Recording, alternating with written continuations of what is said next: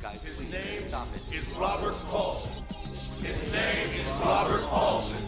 His name is Robert Paulson. This is all over with. Wanna go back to the shit job? Fucking condo world watching sitcoms?